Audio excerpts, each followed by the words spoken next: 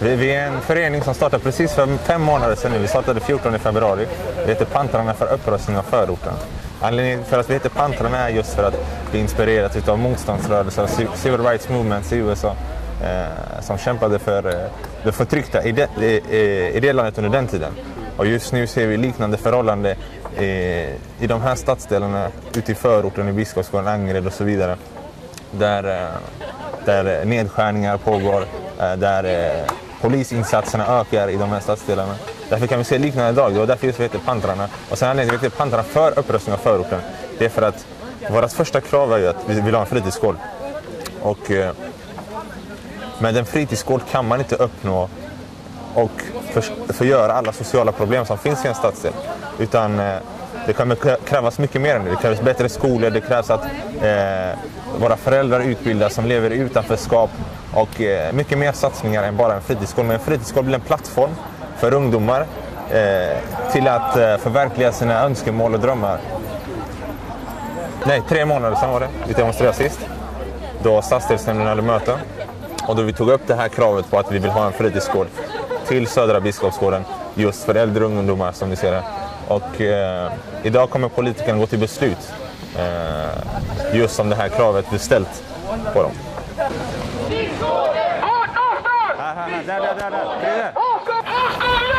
Fritidsgården!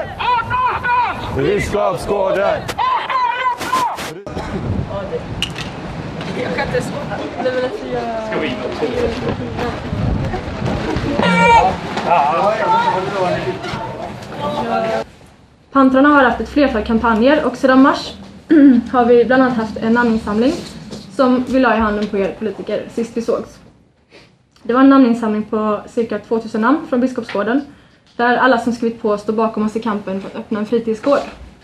Så det är alltså många fler än oss som ser läget som akut. Efter ni hade fått den här namninsamlingen lovade ni att tillgodose våra krav och kort därefter bad ni oss att ge önskemål på lokal och vi blev tillsagda att skriva en verksamhetsplan samt en inventarielista och vårt hopp ökade med det. Eh, och efter vi följt era önskemål förväntade vi, 2000 invånare biskop, att ni skulle lyssna på våra önskemål och hålla det ni lovat. Men än har vi inte sett någonting hända.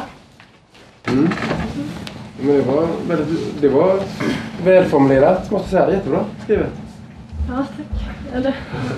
Jo, men det var det. Alltså, sen eh, håller jag inte med om hela den bilden att vi inte lyssnar på er. Jag tycker, så som jag ser det, så tycker jag att vi har lyssnat och vi har ju också lämnat ett eh, uppdrag till förvaltningen. Mm. Att vi vill se en eh, fritidsgård i Södra Biskopsgården. Mm. Och de har ju då under några månaders tid letat och letat. Mm. Eh, så ni hade gett dem uppdrag, de här tjänstemännen ja. från Fritid, att eh, söka upp lokaler. Det gjorde de till oss. De gav oss förslag på en lokal i, i som är i anslutning med förvaltningsbyggnaden. Inte det spot fast på andra sidan där gamla barn och skolkontoret låg. Ja. Eh, där de hade en hyra på 700 000 kronor. Och detta förslaget kom själv från förvaltningen. Mm. Vad vi gjorde sen var att vi gick dit med eh, eh, den som är ansvarig för lokalen och kollade upp stället och så vidare och se möjligheterna till vad det, eh, vad det är för typ av verksamhet man kan driva där. Och, eh, den här lokalen var kontorsanpassad mm. men eh, det var sådana gipsväggar som man kunde typ riva ner lätt och en snabb renovering och så vidare. Den var inte lämplig med andra Eller? Man kan göra den lämplig. Ja. Men, men, men eh, det här äh, förslaget kommer ju då från förvaltningens sida. Vad vi, gjorde sen var, äh, vad vi fick sen ett svar från förvaltningen efter vi sa att vi ville ha den lokalen som de lagt själva fram som förslag var att de sa nej den här lokalen är för dyr för att vi har för lite pengar. Vi är ju, en enig nämnd har ju alltså lagt ett förslag till förvaltningen att man ska titta på lokal för att vi tycker att det är viktigt att man ser till att det finns ungdomsverksamheter som fungerar i Biskopsgården. Och utefter det uppdraget så har de ju tittat på vad finns det för Alltså ni ger ändå mer ansvar på oss än vad ni tar på er själva. Ja, precis.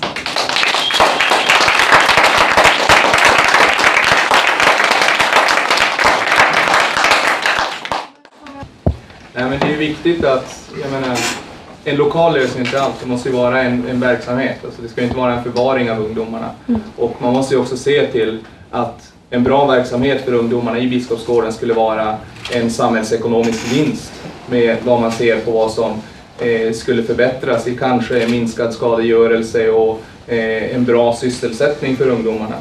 Så att, att skjuta till lite extra skulle ju i längden vara en besparing.